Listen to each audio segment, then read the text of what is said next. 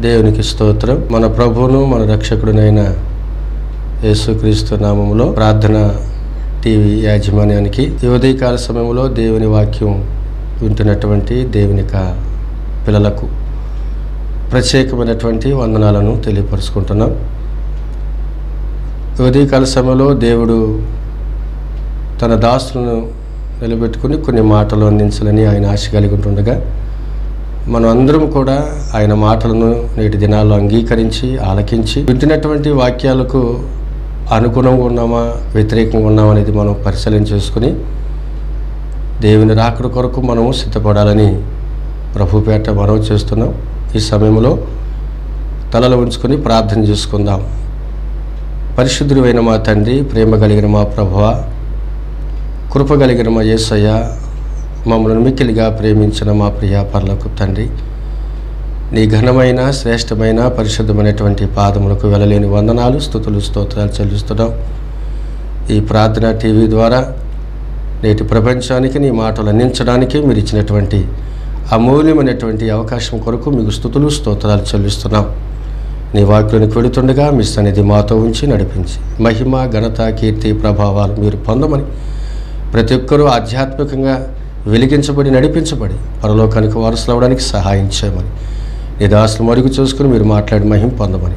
క్రీస్తు నామమున ప్రార్థించి స్తుతించి అడిగి వేడుకుంటున్నాము తండ్రి. ఆమెన్. చూడండి దేవుని బిడ్డారా దైవ గ్రంథములో నుండి కొన్ని వాక్యాలను మనం ధ్యానం చేసుకుందాం. పరిశుద్ధ గ్రంథము నుంచి కీర్తన గ్రంథము ఇరవయవ కీర్తన ఏడో వచ్చినని ఒక మాటను మనం ధ్యానం చేసుకుందాం. కొందరు రథములను బట్టియు కొందరు గుర్రములను బట్టియు అతిశయపడుదురు. మనమైతే మన దేవుడైన యహోవ నామను బట్టి అతిశయపడదము. వారు కృంగి నేల మీద పడి ఉన్నారు. మనము లేచి చక్కగా నిలుచుచున్నాము. దేవుడు తన పరిశుద్ధ వాక్యమును మనందరి హృదయంలో దీవించి ఆశీర్వదించునుగాక.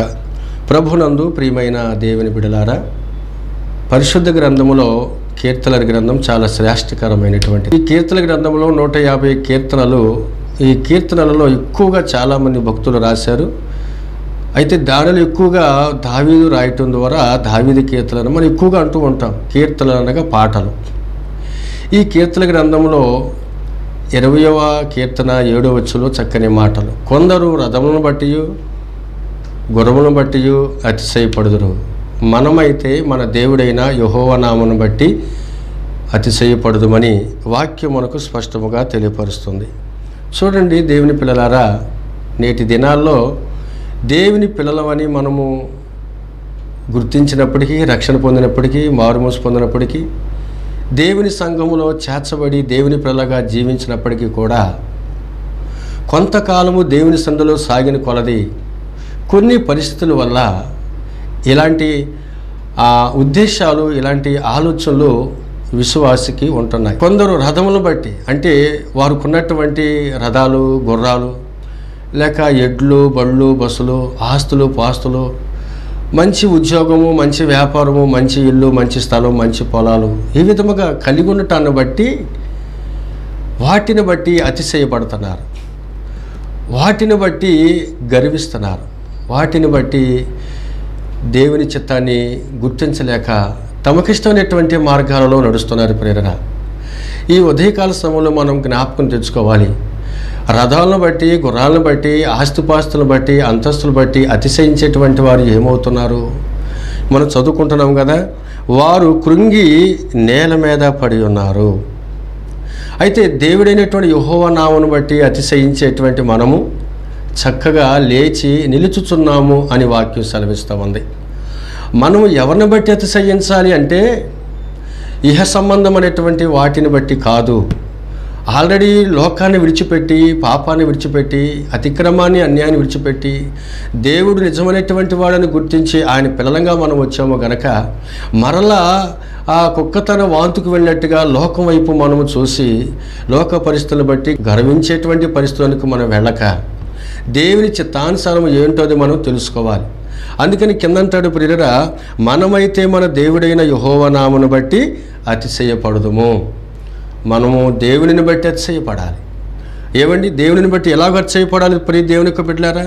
ఇరిమియా గ్రంథము తొమ్మిదవ అధ్యాయము ఇరవై మూడో వచ్చినాన్ని ఒకసారి చదువుకుందాం చూడండి. మనము దేనిని బట్టి అతిశయించాలి? దేనిని బట్టి మనము దేవునిలో ఆనందించాలని వాక్యాన్ని బట్టి చూద్దాం. ఎలాగు సెలవిచ్చుచున్నాడు? జ్ఞాని తన జ్ఞానమును బట్టి సూర్యుడు తన శౌర్యమును బట్టి అతిశయింపకూడదు. ఐశ్వర్యవంతుడు తన ఐశ్వర్యమును బట్టి అతిశయింపకూడదు. అతిశయించువాడు దీనిని బట్టి అతిశయింపవలనగా భూమి మీద కృపచూపుచు నీతి న్యాయములు జరిగించుచున్న యహోవాను నేనే అని గ్రహించి నన్ను పరిశీలనగా తెలుసుకున్న బట్టియే అతిశయింపవలను. అట్టి వాటిలో నేను ఆనందించువాడని యహోవా సెలవిస్తున్నాడు.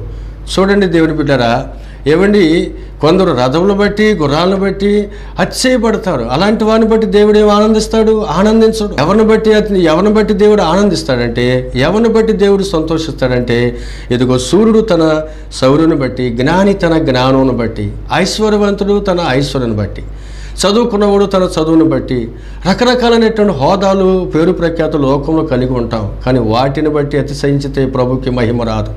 విశ్వాసిగా మన జీవితాన్ని మనం పరిశీలన చేసుకోవాలి. నీవైనా నేనైనా మనమైనా దేనిని బట్టి అతిశయించాలంటే ఎదుగు భూమి మీద కృప చూపుతున్న దేవునిని బట్టి మనము అతిశయించాలి. నీతి న్యాయములు జరిగిస్తున్న దేవునిని బట్టి అతిశయించాలి. లోకములు అనేక మంది ప్రియుడ జ్ఞాని తన జ్ఞానాన్ని బట్టి. నాకు జ్ఞానం ఉంది నాకు చదువు ఉంది నాకు నాకు డిగ్రీ ఉంది నాకు అది ఉంది ఇది ఉందని చెప్పి అతిశయిస్తూ ఉంటాడు. ఐశ్వర్యవంతుడు తన వెండి భాగాలను బట్టి అతిశయిస్తూ ఉంటాడు ప్రేర సూర్యుడు తన శౌర్యను బట్టి నాకు బలము బలగాన్ని బట్టి అతిశయిస్తాడు కానీ ప్రయోజనం లేదు వాటిని బట్టి అతిశయిస్తే ఇదిగో భూమి మీద కృప చూపుతున్నాడు దేవుడు. భూమి మీద దయ చూపుతున్నాడు దేవుడు. భూమి మీద జాలి చూపుతున్నాడు దేవుడు.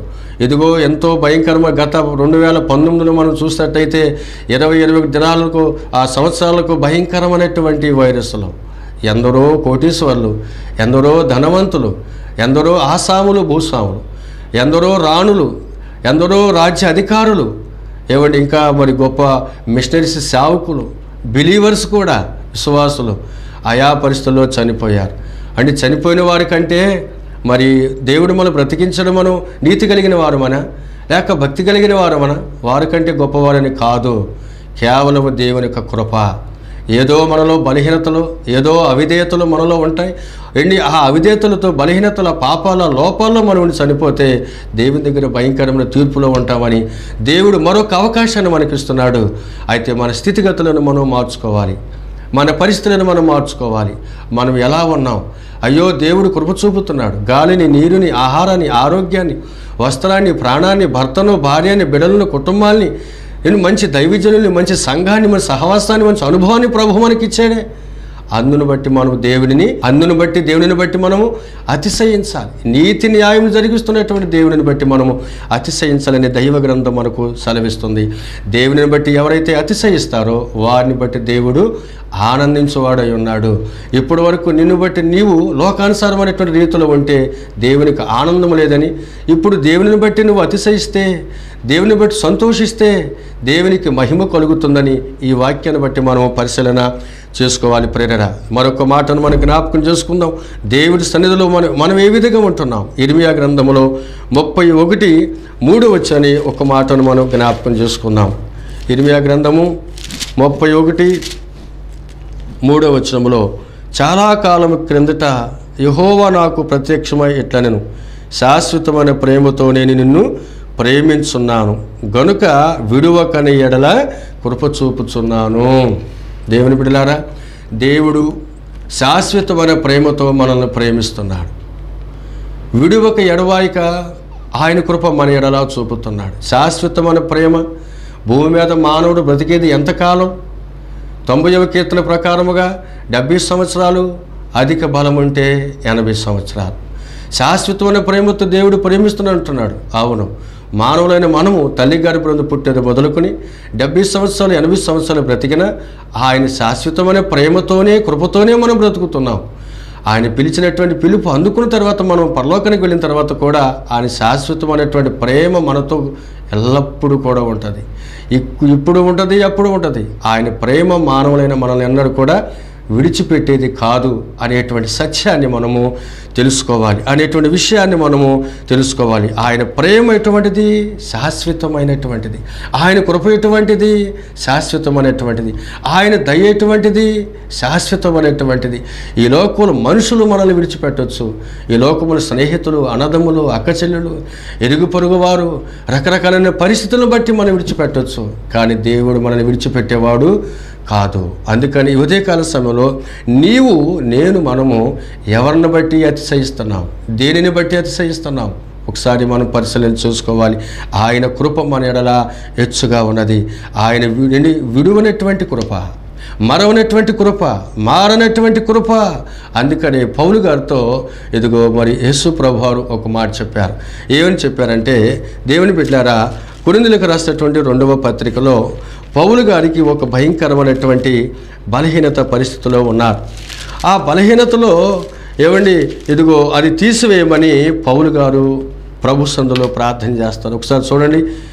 రెండవ క్రొందుకు రాష్ట్ర పత్రిక పన్నెండవ అధ్యాయము ఏడవచనములో నాకు కలిగిన ప్రత్యక్షతలు బహు విశేషముగా ఉన్నందున నేను అత్యధికముగా హెచ్చిపోకుండా నిమిత్తము నాకు శరీరములో ఒక ముల్లు నేను అత్యధికముగా హెచ్చిపోకుండా నిమిత్తము నన్ను నలగగొట్టుటకు సాతానిక దోతగా ఉంచబడను. అది నా ఎద్దుని తొలగిపోవాలని దాని విషయమై ముమ్మారు ప్రభుని వేడుకొంటుని.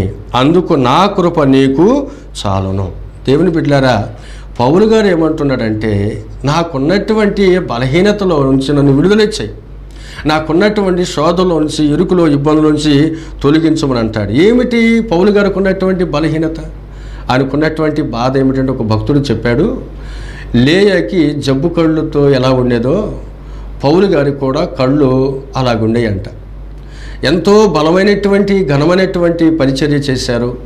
పదమూడు పత్రికలు ఖైదీగా చెరసాల్లో ఉండి సంఘాలకు రాస్తూ సంఘాలను బలపరుస్తూ భద్రపరుస్తూ ఉండేటువంటి వాడు. కురిందకు రాసిన పత్రికలో పదకొండవ అధ్యాయంలో మనం చూసినట్లయితే నేను క్రీస్తుని పోలి నడుచుకున్న ప్రకారం మీరు నన్ను పోలి నడుచుకుని అని చక్కని మాటలు చెప్పారు. మరి అలాంటి పౌలు గారు ఉన్నటువంటి బలహీనత కళ్ళకు జబ్బులాగా ఉండేది. ఏమండి? అది తీసివేయమని ప్రభు సందులో ముమ్మారు ప్రార్థన చేస్తున్నారు. మమ్మారు దేవుని సందులో అడుగుతున్నాడు. అయితే ప్రభు ఏమన్నారు? నా కృప నీకు చాలును. నీకున్న బలహీనతదే ఎక్కువ నీకున్న వ్యాధి ఎక్కువ నీకున్నటువంటి ఆ సమస్య ఎక్కువ నీకున్నటువంటి లేకపోతే ఆ యొక్క అప్పులు రుణాలు సంబంధమైనటువంటి పరిస్థితులు ఎన్నో నీకు మరి కష్టాలు రావచ్చు. అవి ఎక్కువ లేదా నీ ముందు ఉన్నటువంటి నేను నా కృప నీకు ఎక్కువ? అది మనం అర్థం చేసుకోవాలి ప్రేరణ. మనం అనుకున్నది మేలుకరంగా అయితే దీవెనికరమైతే ఆశ్వాదకరంగా ఉంటే కలిసి ఉంటేనేమో అమ్మో దేవుడు నాతో ఉన్నాడు దేవుడు నా ప్రార్థన ఆలకిస్తున్నాడు అని అనుకుంటాం. మనం అనుకున్నది ప్రేరణ జరగకపోతే దేవుడు నన్ను విడిచిపెట్టాడు నన్ను మర్చిపోయాడు. దేవుడు లేడు ఏవులేడని నిరుత్సాహముతో అవిశ్వాసముతో అవండి అపనమ్మకముతో అల్ప విశ్వాసంతో మనం ఉంటాం. అలాగున్నాడు పౌలు గారు? లేదు. అప్పుడు దేవుని మీద ప్రభు అంటున్నాడు పౌలు గారితో నా కృప నీకు చాలును. ఏ పరిస్థితులలో? బలహీనతలలో. నా కృప నీకు చాలు అన్నాడు. ఎప్పుడైతే దేవుడు పౌలు గారితో చక్కని ఆ మాట చెప్పారో పౌలు గారు సంతోషముగా అంటాడు దేవుని బిడ్డారా పదవచ్చు నేనెప్పుడు బలహీనుడను అప్పుడే బలవంతుడను. ప్రియులరా కనుక మనం ఎప్పుడు బలహీనముగా ఉంటాము? ఎప్పుడు శక్తిహీనంగా ఉంటాము? ఎప్పుడు అనారోగ్యముగా ఉంటాము? లేకపోతే ఇహ సంబంధమైన పరిస్థితులే కానీ లేకపోతే ఆత్మీయ స్థితిగతులే కానీ రకరకాలైనటువంటివి మన జీవితంలోకి వచ్చినప్పుడు పౌలు గారిని మనం జ్ఞాపకం చేసుకోవాలి. ప్రియులరా దేవుని సంఘానికి వెళుతున్నాం దేవుని వాక్యాలు వింటున్నాం. ఏమండి? కానీ విన్నటువంటి వాక్యాలు మన హృదయంలో ఉంచుకోలేకపోతున్నాం. మన హృదయంలో స్థిరపరచుకోలేకపోతున్నాం. విని విడిచిపెట్టేస్తున్నాం. విని వాయిదాలేస్తున్నాం వింటున్నాం మర్చిపోతున్నాం తర్వాత చూద్దాంలని అది విశ్వాస జీవితానికి ఏమాత్రము కూడా మరి ఎదుగుదల కాదు. విశ్వాస జీవితానికి ఆత్మీయ అభివృద్ధి ఆత్మీయ ఆశీర్వాదము కాదు. కాబట్టి ప్రేరణ గుర్తుపెట్టుకో. ఎందుకంటే పౌలు గారు చెప్పిన మాట మనకే చెబుతున్నాడు. ఆనాడు ఆయనకే కదా. మరి మనకేంటి అనుకుంటా నిలబడిన మనుషుడే మాట్లాడేది పరిశుద్ధాత్మ దేవుడు. దేవుడు నీతో మాట్లాడుతున్నాడు. నా కృప నీకు చాలని చెప్పిన దేవుడే ఈ ఉదయకాల సమయంలో కూడా నీతో కూడా దేవుడు మాట్లాడతాడు. ఏమని? నా కృప నీకు చాలను. అందుకని యశా గ్రంథంలో ఏమంటే యశా గ్రంథంలో మనం చూసినట్లయితే ఏమనంటే ఆ యాభై నాలుగో అధ్యాయం పదో వచ్చములో దేవుని బిడ్డారా మనం గమనించినట్లయితే పర్వతములు తొలగినను మెట్టలు దద్దరిల్లినను నా కృప నిన్ను విడిచిపోదు అన్నాడు. అర్థం చేసుకుంటున్నామా? ప్రియ దేవుని బిడ్డారా ఎన్నోసార్లు మనం వాక్యం వింటున్నాం కానీ మరి మనం అవగాహనలోని తెచ్చుకోలేకపోతున్నాం అర్థం చేసుకోలేకపోతున్నాం ఏంటి ఆత్మీయంగా మనం ముందుకు వెళ్ళలేకపోతున్నాం ప్రియా దేవుని సంగమా. పర్వతములు తొలగిపోయినను మెట్టలు దద్దరిల్లినను నా కృప నిన్ను విడిచిపోదు. పర్వతములు అంటే ఏమిటి? మనకు తెలిసినటువంటివి మన ఏరియాలో విజయవాడ లేకపోతే హైదరాబాద్లో లేకపోతే గుంటూరు వీళ్ళ కొండలు ఉంటాయి పర్వతాలు. మనం అవి అనుకుంటాం చాలాసార్లు. పర్వతాలు కాదండి. పర్వతములు లాంటి ధనవంతులు పర్వతము లాంటి ఉన్నతమైనటువంటి వారు పర్వతము లాంటి గొప్ప గొప్ప ఉద్యోగస్తులు నేనున్నానమ్మా నీకేం పర్వాలేదు అని చెప్పినటువంటి వారు ఆ సమయం వచ్చేసరికి చేయి జారిపోతారు వెళ్ళిపోతారు. ఇంటికి వెళ్ళి తలుపు కొట్టిన తలుపులు తాళలేసి ఉంటాయి. ఫోన్ చేసిన ఎన్నిసార్లు ఫోన్ స్విచ్ ఆఫ్లో ఉంటుంది. నువ్వు అనుకుంటూ వాళ్ళ మీద ఆధారపడతావు. పర్వతములు వెళ్ళిపోయాయి. అందుకని నూట ఇరవై ఒకటో కీర్తనలో దావిది ఏమంటాడంటే కొండల వైపు నా కనులెత్తుచున్నాను నాకు సహాయం ఎక్కడ వచ్చును? నాకు సహాయం హోవేద్దు నుండే వచ్చును. తెలియక కొండల వైపు చూసిన తెలియక పర్వతాల వైపు చూసిన తెలియక రాజుల వైపు చూసిన అధికారుల వైపు చూసిన స్నేహితుల వైపు చూసిన చేతులు చాపి మనుషుల వైపు చూసిన సమయం వచ్చేసరికి అందరూ పర్వతాలలాగా వెళ్ళిపోతారు. కానీ పర్వతాలు వెళ్ళిపోయినా ప్రభు అంటున్నాడు నేను నీకు తోడుగా ఉంటా. నా కృప నిన్ను విడిచిపోదు. గుర్తుపెట్టుకో ప్రేరణ. ఆయన కృప మనల్ని విడిచిపోదు. ఆయన కృప అంటే ఏంటి అసలు? కృప అంటే ఏంటి? కృప అంటే ఏదో గొప్పగా మనకు కానీ అనుకున్నది కలిగితేనే మన కృప అనుకుంటాం. ఒక్క విషయం గుర్తుపెట్టుకో దేవుని బిడ్డ. కృప అంటే యేసు ప్రభువారే. ఆ కృపే నా కృప నీకు చాలు అంటే నేను నీకు చాలునని పౌరు గారితో చెప్పిన దేవుడు ఉదయకాల సమయంలో నీతో నాతో కూడా చెబుతున్నాడు. కృప అనగా దేవుడే. మనకు ఆ కృపకు వారసులుగా చేశాడు కృపకు యోగ్యులుగా చేశాడు. అయోగ్యులు మనము. ఏమండి దేనికి యోగ్యులము కాదో దేనికి వారసులము కాదో? ఏమండి ఆ పరలోకానికి మనం దేనికి హక్కుదారులము కాదు? ఆ రాజ్యానికి యోగ్యులుగా వారసులుగా ఆ మార్గాన్ని చూపడానికి కృప కలిగినటువంటి యేసు ప్రభు అని కృపగా ఈ లోకానికి వచ్చి ఆ కృపను శ్రమలలో శోధనలో ఇరుకు ఇరుకులలో ఇబ్బందులలో కృప మీకు తోడుగా ఉంటుంది. కృప నీకు తోడుగా ఉంటుంది. ఇండైరెక్ట్గా చెప్పిన మాట. డైరెక్ట్గా నేను నీకు తోడుగా ఉంటున్నానని చెప్పిన మాట. ఉదయకాల సమయంలో ప్రేరరా పర్వతాల వైపు మనం చూడొద్దు. కొండల వైపు మనము చూడొద్దు. మనుషుల వైపు మనము చూడొద్దు. పరిస్థితుల వైపు చూడొద్దు. దేవుడు త్వరగా రాబోతున్నాడు. ఎన్నో సంవత్సరాలుగా మనం రక్షణ పొంది ఉన్నాం. ఎన్నో సంవత్సరాలుగా దేవుని సంఘంలో నడిపించబడుతున్నాం. ఎన్నో సంఘము ఎన్నో సంవత్సరాలుగా దేవుని సంఘములో ఆయన ఘనమైనటువంటి పరిచయలో విశ్వాసులుగా సాక్షులుగా నమ్మకమైనటువంటి వారుగా మనం వెళుతున్నాం. అయితే ఆ విశ్వాసం నేటి వరకు నువ్వు నిలబెట్టుకుంటున్నావా? కాపాడుకుంటున్నావా? లేదు పరిస్థితులను బట్టి నువ్వు జారిపోతున్నావా? ఒకసారి పరిశీలన చేసుకో. ఈ ఉదయకాల సమయంలో ప్రేరణ. పర్వతాల వైపు చూడక మనుషుల వైపు చూడక దేవుని వైపు మనము చూద్దాం. అందుకే యశా గ్రంథములో ఇంకో మాట ఏమనుంది యశా గ్రంథము దేవుని బిడ్డారా యాభై ఐదవ అధ్యాయము. యాభై ఐదవ అధ్యాయంలో ఇదిగో మూడవ వచ్చులో ఒక మాట మనం గమనిద్దాం. చెవియొగ్గి నా ఎద్దుకు రండి. మీరు వినిని ఎడల మీరు బ్రతుకుదురు. నేను మీతో నిత్య నిబంధన చేసేదను. దావీదులకు చూపిన శాశ్వత కృపను మీకు చూపదను. దేవునికి స్తోత్రం. చెవియొగ్గి నా ఎదుకు రండి.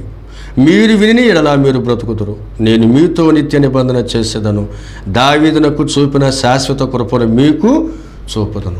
ప్రభునందు ప్రియమని వాళ్ళారా దావీదుకు దేవుడు కృప చూపాడు. ఎందుకని? దావీదుకు శాశ్వతమైన కృపను చూపాడు. ఎందుకని? దావీదు తన జీవితంలో ఒక చిన్న పొరపాటే చేశాడు. అది అందరికీ తెలిసిన విషయమే. కానీ ఆ పొరపాటు విషయంలో కప్పు పెట్టుకోలేదు. చాలామంది తప్పు చేస్తారు. అబద్ధములు ఆడతారు మోసం చేస్తారు. దేవుని మీద దైవజనుల మీద సంఘాల మీద తోటి విశ్వాసుల మీద ఇరుగు పొరుగు వారి మీద నిందలేస్తారు. ఏమండి? కానీ అట్లాగే దేవుని సంఘములో ప్రవేశించి అట్లాగనే దేవుని సందులో మనం ఉండి మనము కూడా విశ్వాసులు కానీ మంచి వాళ్ళం కానీ మరి సంఘాలలో చలామణి అయిపోతూ మరి దేవుని బిడలంగానే ఈ లోకంలో మన కాలాన్ని గడుపుతూ ఉంటాం. కదా ప్రియ దేవుని బిడరా కానీ దావీదు గారు అలా చేయలేదు కదా. తను చేసినటువంటి తన పాపమును దేవుని సందులో ఏం చేశాడు? ఒప్పుకున్నాడు. ఒప్పుకున్నాడు. హిస్సేపు వలె నన్ను కడుగు హిమం వలె నన్ను కడుగు నూతన మనసు నాకు దయచేయి రక్షణానందం నాకు దయచేయి సమ్మతి గల మనసు నాకు దయచేయి విరిగిన నలిగిన మనసు నాకు దయచేయి. చేసింది ఒక్క పాపమే. ఎన్ని విషయాలు ప్రభు సందులో అడుగుతున్నాడు. ఆ పాపములను దేవుడు క్షమించాడు. కదా? అందుకే దేవునికి దేవుడు శాశ్వతమైనటువంటి ఏమండి? కృపను దేవుడు చూపాడు. మనకు కూడా శాశ్వతమైన కృప చూపాలంటే ప్రేరణ. ఏమండి? మనలో అతిక్రమాలను అవిధేయతలను సాతానుడు మనలోనికి పంపించినప్పుడు వాటిని మనం ఒప్పుకోవడానికి ప్రయత్నం చేయాలి. కప్పుకోవడానికి ప్రయత్నం చేయకూడదు. వాటిని విడిచిపెడటానికి ప్రయత్నం చేయాలి. దాచుకోవడానికి ప్రయత్నం చేయకూడదు. ఏమండి నువ్వు దాచుకున్నావా? నువ్వు కప్పుకున్నావా? నువ్వు లోక సంబంధమైనటువంటి వ్యక్తిగానే ఉంటావు. ఒప్పుకున్నావా? విడిచిపెట్టావా? దావిదులుగా కనికిరాన్ని పొందుతావు. దావిదికు చూపిన శాశ్వతమైన కృపను దేవుడు బిడ్డరా దేవుడు చూపుతానంటున్నాడు. ఈ ఉదయకాల సమయంలో మన జీవితాలను మనము పరిశీలన చేసుకోవలసి వారమై ఉన్నాం. ప్రభువు నమ్మదగినటువంటి వాడు. ఆయన మనల్ని విడిచిపెట్టే దేవుడు కాదు. ఒక్కసారి మన ఆత్మీయ జీవితాలను మనం పరిశీలన చేసుకుంటూ మనం దేవుని కొరకు ఈ లోకములో నమ్మకముగా సాగిపోవలసి వారమై ఉన్నాం. ఆయన కృప కలిగిన వాడు. ఆయన కృప ఎంతైనా ఏమిటి మన పట్ల ఉండేటువంటిది. ఆయన కృప లేకపోతే ఈ దినం వరకు మనం ఈ రీతిగా ఉండేవారము కాదు. అందుకని ఒక మాట ఇదిగో ఇర్మియా గ్రంథములో ప్రేరణ మూడవ అధ్యాయములో పన్నెండవ వచనంలో ఒక చక్కని మాట ఉంది.